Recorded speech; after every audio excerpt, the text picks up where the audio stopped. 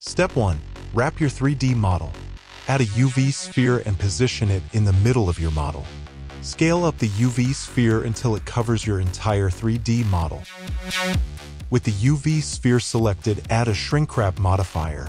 In the shrink wrap modifier panel, select your 3D model as target. Increase the offset until the sphere covers the entire model. Add a solidify modifier and slightly adjust the thickness value to your preference. Add a subdivision surface modifier with two subdivisions for smoothness.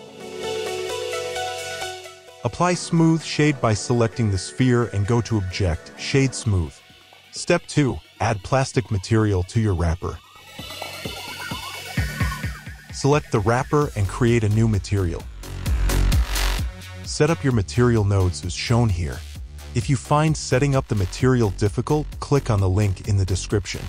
It will take you to the Gachoki Studios website where you will download the project file for this tutorial. Then append the plastic material to your project. That's it for now. If you have any questions, drop them in the comment section and I will tackle them as soon as I can. See you next time.